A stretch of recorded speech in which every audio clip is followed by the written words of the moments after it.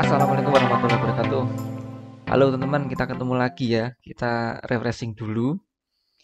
Sudah banyak membahas TWK, kita refreshingnya membahas TIU ya. Nanti setelah ini mungkin akan kita bahas lagi tentang TWK maupun TKP. Nah, teman yang banyak ditanyakan ini kadang ini ya, silogisme atau penalaran logis. Dan teman bagaimana kita nanti bisa memahami jenis-jenis soal silogisme ya yang sering keluar pada TCPNS. Teman bagi yang hari Kamis ya, kemarin Rabu kita kita revisi ya dari Kamis karena banyak yang mungkin berminat. Nanti teman bisa diskusi dengan saya ya. Uh, malam hari ya jam 7.15 nanti kita akan membahas bagaimana penalaran TWK di sana yang sering banyak didebatkan teman-teman ya apakah nanti TWK ini tetap hafalan ataupun nanti menjadi penalaran kasus nanti coba kita diskusi teman ya nah kita belajar bareng aja di sana silakan nanti banyak banyak bertanya tentang TWK nanti dapat satu paket PDF rata soal teman ya free untuk kalau ikut ini nanti. Silakan teman-teman untuk link daftar di notis ini uh, diskusi santai dengan saya TWK bisa klik di deskripsi ya. Nah, silakan. Nanti bisa login dulu, daftar biasa, kemudian bisa akses untuk kelas ini. Oke teman, kita mulai ya untuk pembahasan silogisme. Jadi teman silogisme itu ada dua ya. Ada silogisme hipotetik, ini yang mengandung jika maka teman. Dan dan silogisme kategorik nanti yang mengandung semua sebagian. Tapi kita hari ini akan fokus untuk membahas silogisme hipotetik dulu karena bermacam-macam teman-teman ya untuk model soalnya ya. Nah teman ada pedomannya untuk penarikan kesimpulan silogisme hipotetik ada tiga modus ponens, tollens, dan silogisme. Mungkin teman sudah banyak yang dengar ataupun yang baru belajar ini teman ya. Jadi teman kalau nanti disuruh narik kesimpulan itu pedomannya tiga ini. Ya, oke. Apa sih masuknya ini ponen, stolen, silogisme? Kita pelajari teman ya. Oke, nomor satu teman. Ini namanya premis teman ya untuk satu kalimat ini ya. Ada jika, maka minimal jika dipanaskan pada suhu 100 derajat ini kan sudah membentuk kalimat kan. Ya, ada subjek, ada apa namanya ini, predikat minimal itu ya untuk sebuah premis. Teman, kalau nggak mau mengaitkan dengan bahasa Indonesia, kita gampangan begini ya. Setelah jika itu ada ada frase kan ya ada kalimat. Nah maka teman bisa kita buat notasinya P begitu ya nah teman ini nggak harus P ya ya bisa A bisa B bisa X bisa Z ya terserah ya senyamannya teman ya bebas demokrasi. Kemudian teman setelah kata maka kalau ada frasa lagi ada kalimat ya ini kan sudah minimal ada subjek dan predikat kan air mendidih kan subjeknya air mendidih predikat gitu kan. Kan kita bisa membuat notasi lagi tapi jangan sama dengan p gitu kan harus lain ya he misalnya ya boleh ini ganti ganti x ganti z boleh ya teman maka teman kalau sudah membentuk seperti ini p kita sudah mengidentifikasi he juga sudah maka teman kita bisa membuat begini ya notasinya p maka he nah jadi panah ini menunjukkan bahwa silogisme ini adalah silogisme hipotetik ya atau penarikan kesimpulan hipotetik di. Menunjukkan jika maka untuk panahnya teman ya. Nah kemudian teman ini premis satu ya, premis keduanya Sumanto memanaskan air pada suhu satu derajat. Nah ini teman bisa mencari notasi apa yang bisa muncul pada H dan P. Kan. Oh ternyata P kan karena mengandung unsur yang sama kan air dipanaskan pada suhu satu derajat. Ini kan juga air dipanaskan pada suhu 1 derajat. Maka teman, Sumanto memanaskan air pada suhu 1 derajat ini adalah P teman ya. Teman fokus saja pada airnya ya, tidak usah fokus pada Sumantonya ya. Membuka luka kelam nanti. Mungkin yang tahu dulu ya kasus viral itu. Nah, maka teman ini kan P ya untuk penulis keduanya. Maka teman setelah berhasil menunjukkan notasinya P maka Q, kemudian penulis 2P, teman-teman cek di situ ya apakah dia masuk modus ponens tolerance atau silogisme nah begitu caranya dan caranya mengerjakan soal silogisme hipotetik oh ternyata ini modus ponen karena polanya premis 1 P maka Q premis 2 P oh berarti ini modus ponens maka jawabannya Q teman ya nah mana yang Q teman cari aja di situ gitu kan nah Q itu kan maka air mendidih kan. Nah, maka air yang dipanaskan Sumanto mendidih. Ya, yang A teman di sini. Ini laki kan ini. Nah, ini Kenapa kita harus menggunakan modus Ponden? Karena kita nggak cocok dengan modus tolerance. P maka Ki. Modus tolerance itu premis keduanya harus min Hi ya. Nah, padahal di sini modus keduanya, uh, premis keduanya adalah P. Maka nggak cocok dengan modus tolerance. Apalagi dengan silogisme. Premis keduanya harus Hi maka R.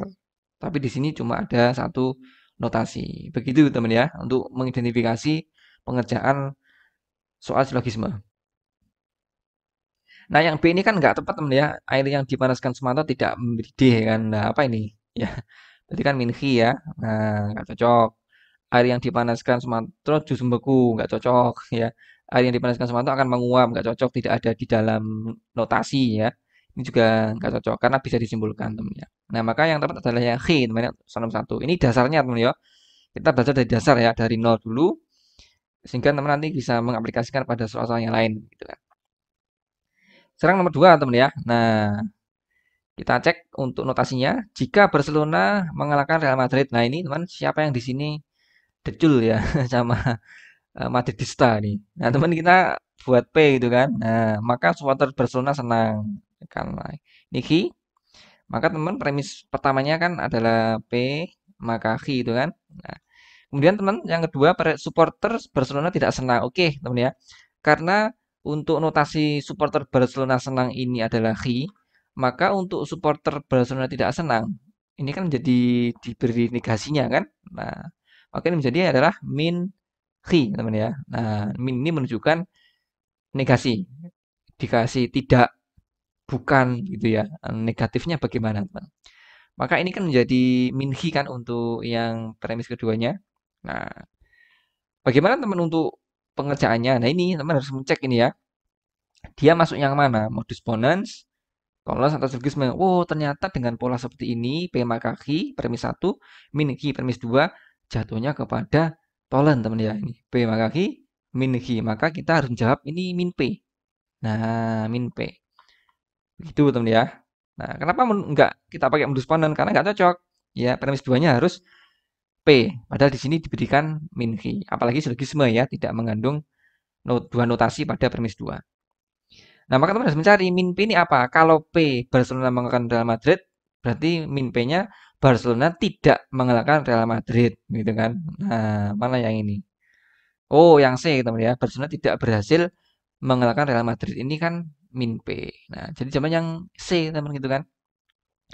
Bukan yang A ya, karena Barcelona menang melawan Real Madrid. Nah, ini apa ini? Ini kan P ya. Mengalahkan kan? Nah, Barcelona berhasil mengalahkan Real Madrid. Ini kan juga sama ya. Sama artinya teman nggak cocok ya. Nah, yang D Barcelona tidak senang melawan Real Madrid ini nggak cocok, nggak ada di nggak ada di notasi teman, apalagi tidak dapat disimpulkan ya. Nah, nggak cocok. Begitu ya tadi Tolen sekarang Ponens. Bisa dipahami teman ya untuk cara mengidentifikasi jawaban. Nomor tiga teman lah ini. Nomor tiga teman sekilas itu sudah bisa mengidentifikasi ya kalau ada dua premis dan keduanya mengandung dua notasi, maka ini jelas arahnya kepada silogisme teman kan. Ya kita coba kerjakan teman. Jika Dori pergi ke ladang, nah ini kan P, maka ia membawa sabit teman ya. Nah sabit ini khi misalnya ya. Kemudian premis kedua teman Dori membawa sabit, ini kan ada di premis pertama kan ada khi kan. Nah maka saja khi teman ya, sama-sama khi kan. Ia ini menunjukkan dori kan. Kemudian maka ia memanen buah durian. Karena ini tidak ada di premis 1 P maka P ataupun H kita bisa membuat notasi yang lain teman ya. Bisa R ya, tapi tidak harus R teman ya. Bisa yang lain gitu kan. Ya terserah teman mau pakai notasi yang apa. Sehingga teman ini kan premis pertamanya menjadi P maka H, premis kedua adalah H maka R. Duh, gampang kan ini menjadi.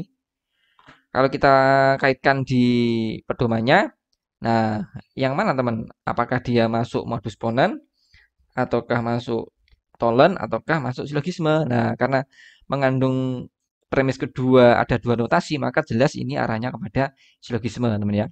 Premis pertama P maka Q, premis dua Q maka R, berarti jawabannya P maka R ya. Ini P maka R.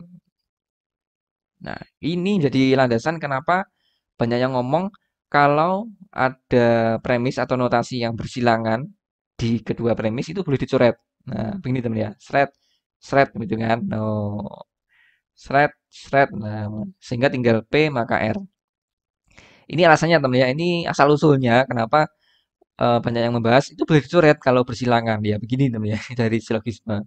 Sehingga teman kita perlu mencari mana yang P maka R kan. Jika Dori pergi ke ladang, maka ia memanen buah durian. Mana ini? Uh, oh, yang C teman ya. Nah, ini kan P maka R. Nah, yang A ini jika Dori tidak pergi ke ladang, ini kan min P, maka ia tidak memanen buah durian. Min R, gak cocok teman ya.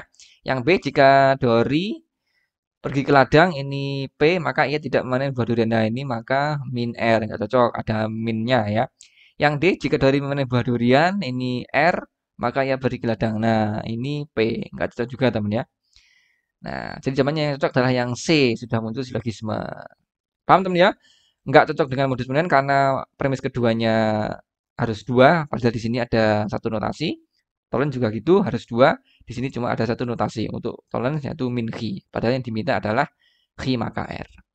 Bisa dipahami teman Jadi kalau ada silogisme seperti ini, cocokkan modus ponent, tolerant atau silogisme. Nah, teman yang ingin persiapan lebih banyak lagi tentang persiapan tes CPNS tahun ini, teman bisa langsung klik link di deskripsi. Nanti akan diarahkan kepada website Maxima dan nanti teman akan mendapatkan sejumlah keunggulan. Pertama adalah soalnya sudah diupdate sesuai dengan tahun ini ya. Dan tryout mirip tes asli. Dan masih banyak fitur yang lain teman ya. Nanti teman yang belum daftar silahkan bisa daftar dulu ya. Di bawah isi nama lengkap, email, dan macam-macam. Dan klik daftar. Nanti kalau sudah bisa login teman ya silahkan klik masuk sekarang atau login tadi ya. Nah nanti akan teman akan diarahkan kepada halaman ini ya. Nah Teman di sini silakan dipilih yang paling kiri ya. Nah, ada combo 8 paket tryout SKD CPNS ya. Selain ada P3K juga. Nah, teman di sini akan dapat 8 paket tryout, soal sudah terbaru, full pembahasan. Dan yang penting teman ini ya, soal dan pembahasannya bisa di-download. Ini yang mungkin membedakan dengan platform lain ya. Kalau platform lain itu bisa dikerjakan hanya di website ya. Jadi tidak bisa di-download soalnya. Tapi di sini teman selain bisa mengerjakan di website seperti SKD, CAT gitu kan, nah teman bisa mendownload soalnya. Ya bisa dijadikan arsip selama mungkin gitu kan. Ya tidak ada batasan waktunya. Nah teman di sini ya selain itu ada data nilai plus subtest, prediksi kelulusan, rank nasional, grafik perkembangan nilai TO, soal dan durasi waktu disesuaikan dengan tes aslinya dan bisa dikerjakan kapan saja tidak bisa di HP, laptop maupun bisa di-download uh, belajar offline.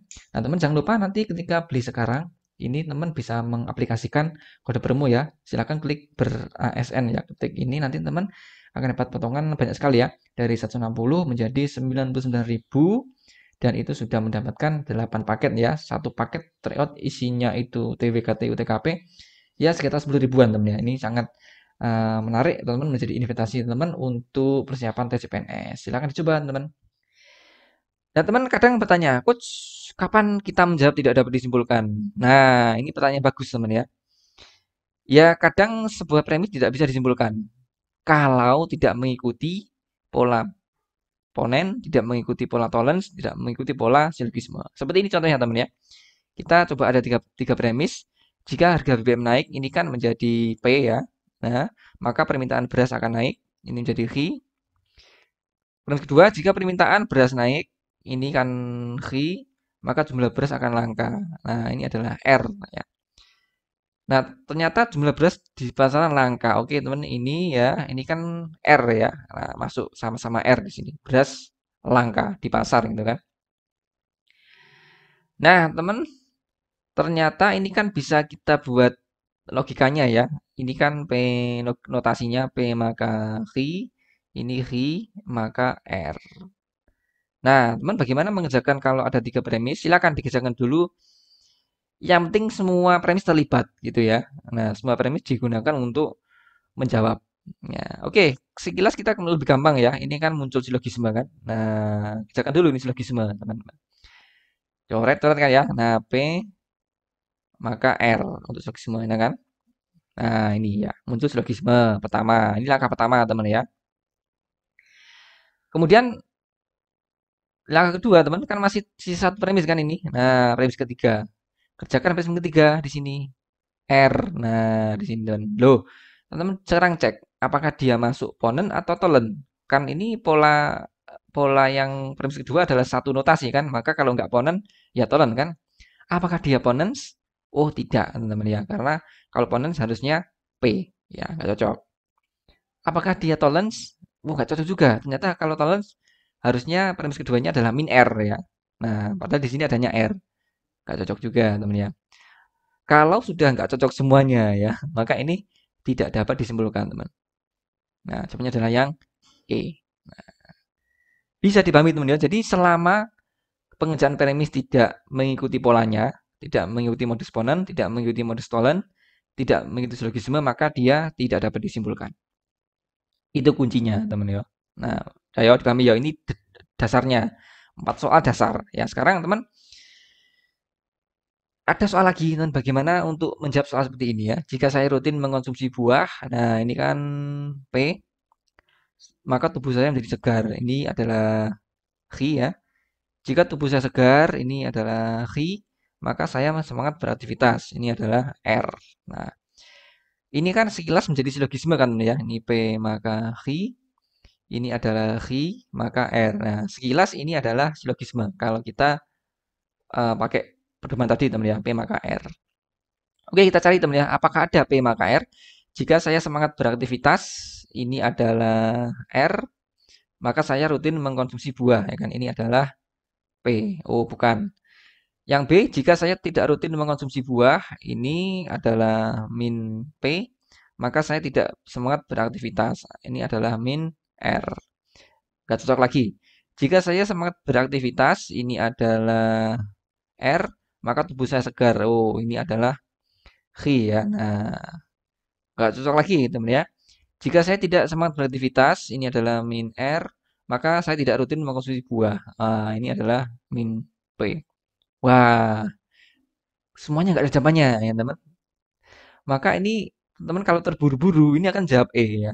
Tidak dapat disimpulkan ya. Ini percaya diri dah PWD jawab E ternyata loh skornya kok rendah di TU ya kan. Nah, berarti kan ada yang terkecoh gitu teman ya. Nah, maka teman sebelum menyimpulkan ke tidak dapat disimpulkan ya. Itu cek dulu ya.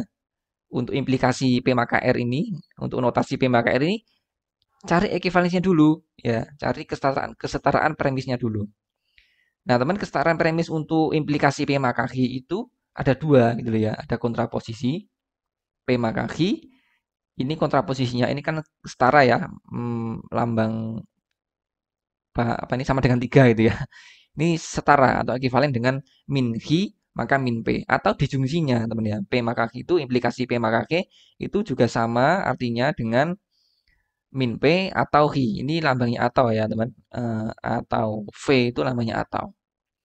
Kalau begini itu dan ya. Cara menghafalnya ini kan V ya mirip U berarti atau gitu kan. Ini kan mirip N ini berarti dan gitu kan. Nah, V kebalik ini kan mirip N berarti dan. Gitu cara menghafalnya teman ya. Nah maka teman harus kita cek ini. Uh, ini kan ada P maka R kan. Nah, P maka R. Kalau mau kita kontraposisikan ya, kontraposisi atau mau kita cari kesamaan maknanya ini kan menjadi min R maka min P kan nah, atau disjungsinya begitu teman nah disjungsinya ada nggak di situ min P ya atau R kan begitu oh ternyata dari opsi A B C D ada kontraposisi ini teman ya ini loh kontraposisi kan nah ini kontra posisinya jadi jelas zamannya teman jangan terburu jangan terburu-buru jawab yang E ya diekivalensikan dulu, maka jawabannya adalah yang D. Ya. Ada jawabannya kan? Berarti ada di, ada kesimpulannya kan? Nah, kontraposisi. Jadi begitu ya, sebelum dieksekusi ya, sebelum kita menyimpulkan tidak ada kesimpulan, cek dulu ekivalensinya. Apakah dia kontraposisi, apakah dia dijungsi. Pada soal ini ternyata muncul kontraposisi, maka jawabannya adalah yang D. Ya. Oke, bisa paham teman ya untuk nomor 5. Nah, nomor 6 ini juga sama teman-teman ya. Nah, masih sama jika Arhan melempar bola, ini kan P ya. Nah, Aziz ini ya. Nah, bukan bukan Zizi tapi Aziz ini. ini adalah Ki teman ya. Nah, jika Aziz merekam Arhan, ini kan sama dengan Ki ya, sama dengan atasnya. Maka Arhan akan viral di video di sosial media. Ini kan R ya karena tidak ada di kedua notasi sebelumnya. Nah, teman-teman ini kita sama ya cara mengerjakannya tulis saja semua notasinya P maka V ini hi, maka R. Nah, teman, ini sekilas kan silogisme kan? Nah, P maka R. Nah, kita cari teman, jika arahan viral di sosial media ini adalah R, maka arahan melempar bola, maka P kan? Oh, nggak cocok. Arahan melempar bola ini adalah P atau ya, atau ini menunjukkan atau arahan tidak viral di sosial media, min R ya kan? Tidak loh yo, ada kata tidak, berarti min R.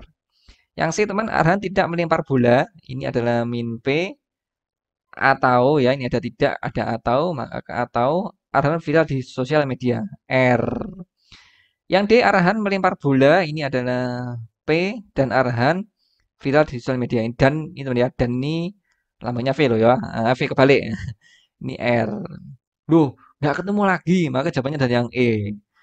Nah, PWD jawab E ternyata skornya rendah lagi. maka teman, maka harus mengecek ekivalensinya dulu ya. ya. Apakah dia kontraposisi ataukah dia disjungsi gitu kan. Nah, ini teman lihat ya. Sudah jelas tadi sudah kita bahas bahwasanya implikasi P maka R itu bisa dikontraposisikan kan. Nah, dikontraposisi itu adalah min R maka min P ya atau didisjungsikan teman di situ kan. Nah, disjungsi ini adalah min P atau R. Yang mana teman? Ternyata wow, muncul yang C gitu kan. Inilah disjungsinya ini kan. Nah, disjungsi atau ekivalensinya kan. Nah, maka ini jawabannya adalah yang C teman ya. Min P atau R ini sama maknanya dengan P maka R. Ya, implikasinya ya teman-teman. Nah, begitu ya teman ya. Jadi sebelum menyimpulkan, tidak dapat disimpulkan, cek dulu ekivalensinya. Entah itu kontraposisi ataupun entah itu disjungsi. Oke, paham teman ya terkait dengan ekivalensi. Nah, sekarang yang agak rumit begini teman. Ketika dua ada dua premis munculnya berbeda ya kan. Ini jika pi ya. Pi ini mungkin nama panjangnya apa? Paijo itu ya. jika pi membeli sepatu teman, ini kan P ya kan. Maka ia memakainya ya kan. Ini adalah hi. Nah, ini kan pemakah gitu ya, pemakah hi. Nah, ternyata teman, premis keduanya tidak tidak jika maka ya, pai tidak memakai sepatu, nah, tidak memakai sepatu ini kan kalau memakai itu hi, kalau tidak memakai berarti kan min hi kan. Atau pai rajin berolahraga. Nah, ini R ya, kita buat R. Teman ternyata ini adalah min hi, maka R lo, bingung ini. Ini gimana ngejakannya ini? Nggak nggak bisa disimpulkan ini. Nah, maka jawabannya E. Lah, P dijawab E. Ternyata skornya rendah lagi gitu kan. Nah, maka teman, langkah pertama sebenarnya kita harus melakukan ekivalensi dulu kan. Nah, ekivalensi dari min hi atau r kan. Nah, kenapa harus kita mengekivalensi yang premis kedua? Karena supaya bisa dikerjakan dengan silogisme ya. Ini kan sekilas kan hi dan r kan. Nah, ini arahnya supaya kita arahkan kepada silogisme. Kalau kita mengubah yang premis pertama, tambah puyeng teman, nggak ketemu tambahan itu kan. Karena tidak ada metode penarikan kesimpulan menggunakan dan atau gitu kan. Nah, maka teman yang paling gampang ini ubah aja yang premis kedua diekuivalensikan menjadi nah ini kan sama start tadi kan menjadi hi maka r kan. Oh, maka kalau ini kita ubah teman p maka hi ini kita ekuivalensikan hi maka r kan. Nah, di sini. Nah, sehingga jawabannya adalah menjadi coret coret p maka r. Nah, Cari teman yang itu ada nggak ya? Pai membeli sepatu ini adalah P dan Pai rajin berolahraga adalah R. Ya. Oh nggak ada. Pai tidak membeli sepatu ini adalah min P atau Pai rajin berolahraga kan. Nah ini R. Yang C teman jika Pai rajin berolahraga ini adalah R ya maka Pai membeli sepatu maka P. Yang D jika Pai tidak membeli sepatu ini adalah min P ya, maka Pai tidak rajin berolahraga. Min R. Duh, kok nggak ada lagi P maka R, teman-teman. Nah, maka harus dicek lagi. Ekivalensi lagi dari P maka R itu apa lagi gitu kan. Nah, P maka R tadi ekivalensinya ya bisa kontraposisi teman ya. Nah, ini bisa kontraposisi min R maka min P atau sama juga dengan lagi min P atau R. Nah, kan ini kan sama-sama dari ini kontraposisi, teman. Nah, ini kontraposisi. Ini adalah disjungsi. Ya, keduanya adalah ekivalensinya, teman kan. Ada nggak min R atau min ini min min, min P teman ya kurang kurang min min R min P ada nggak? Oh nggak ada adanya min P min R bukan. min P atau R? Nah, ada disjungsi teman di sini ternyata. Ini loh ada disjungsi nah ekivalensi disjungsi maka jawabannya adalah yang B teman ya. Nah lihat berapa langkah ini teman kita kan? Mengerjakannya kan? Ini langkah pertama ya meng mengubah mengubah si premis kedua ya. Nah kemudian kita kerjakan dengan silogisme langkah kedua. Ternyata langkah ketiga kita ekivalensi lagi ya kan? Nah tiga langkah untuk mengerjakan soal ini ya. Nah, bisa dipahami teman ya. Jadi teman kalau ketemu soal seperti ini arahkan aja kepada penarikan kesimpulan ya. Biasanya silogisme arahnya. Kan satu-satunya yang mengandung dua notasi pada di dua premis kan silogisme kan? Nah kalau ada disjungsi ini atau ubah aja ke implikasi ya jika maka. Nanti akan ketemu polanya teman-teman kan? Nah setelah ketemu polanya P maka R cari jawabannya. Oh nggak ada lagi ekivalensi lagi ya kan kontraposisi ataupun disjungsi nanti akan ketemu satu, satu salah satunya teman ya. Begitu ya. Ter terbelit-belit ya terbelit-belit ya. Tapi teman nanti kalau sudah lama kelamaan nanti akan paham kok ya. Nah pakai feeling itu bisa. Oh ini pakai silogisme oh ini harus diekivalensikan oh ini harus didisjungsikan oh ini harus dikontraposisikan. Nanti akan punya feel gitu kan ya. Oke teman sekarang nomor 8 ya. Di sini ada ingkaran ya, ada pertanyaan ingkaran. Nah, teman sebenarnya apa sih ingkaran teman ya? Mungkin yang sering kita dengar adalah semua sebagian ya. Ternyata teman implikasi itu juga punya ingkaran di sini ya. Ingkaran implikasi P maka H itu ternyata P dan min H teman ya. Nah, nah ini asal usulnya bagaimana teman ya? Asal usulnya ya. Mungkin kita nggak perlu tahu ya lama, tapi sebenarnya ada dua langkah yang menjadi alasan ini. Pertama teman P maka H ini bisa kita ekivalensikan dulu ini ya. Nah, dengan dijungsi min P atau H Kemudian teman, min P atau H ini kita ingkari gitu kan. Nah, kita ingkari sehingga menjadi P dan min Q. Nah, karena ingkaran dari min P, ya, kalau kita ingkari, ini akan menjadi P kan. Kemudian ingkaran dari atau, teman, kalau kita ingkari, ini menjadi dan ya. Kemudian kalau H kita ingkari ya, kita ingkari ini menjadi min H ya. Sehingga teman kalau dikumpulkan kan menjadi P dan min Q kan. Nah, min Q. Itu cocok kan ini ya. Nah, P dan min Q. Oke, nah kita coba kerjakan ya. Jika Ultraman adalah tokoh fiksi, ini adalah P ya. Maka Conan adalah seorang detektif. Ini adalah Q ya. Maka ini menjadi P, maka Q. Nah, maka teman harus mencari ini. Kalau ini dia diingkari ya, maka kita harus mencari yang P dan min Q ya. Yang mana teman? Oke, yang A ya. Jika Ultraman bukan tokoh fiksi, min P Conan bukan seorang detektif, min Khi. Bukan ya, teman ya. Yang B, jika Conan adalah seorang detektif, adalah Khi, maka Ultraman adalah tokoh fiksi, adalah P. Enggak cocok ya. Yang C, teman, Ultraman adalah tokoh fiksi, ini adalah P, dan Conan adalah seorang detektif, ini adalah Khi. Ini hampir ya. Yang D, Ultraman adalah tokoh fiksi, ini adalah P, dan Conan bukan seorang detektif. Nah, ini adalah min Khi. Sebenarnya yang D, teman ya. Nah, yang E ini salah ya. Ultraman adalah tokoh fiksi, P, nah ini atau, gara-garanya atau ini ya. Conan bukan seorang detektifnya, atau Minhi. Jadi jawabannya adalah yang D, teman ya. Ini ya, P dan Minhi. Begitu teman ya. Kalau ketemu soal ingkaran tentang implikasi ya. Yang mudah itu kan ingkaran yang semua sebagian ya, tapi yang implikasi ini ya jaga-jaga aja ya. Semoga ini bisa keluar dan teman sudah paham gitu kan. Oke teman di sini ada PR ya, ada teman bisa kerjakan nanti di kolom komentar ya. Jika bunga mawar disiram air maka akan tumbuh subur. Jika bunga mawar tumbuh subur, maka akan berbunga. Maka kesimpulannya apa teman? Nah, silakan nanti dicek apakah pakai penerikan kesimpulan Tolen, PON, silogisme, atau harus diekivalensikan. Silakan teman-teman cek di sini, tulis di kolom komentar jawabannya apa. Oke, teman bisa dipahami untuk silogisme ya, macam-macam silogisme.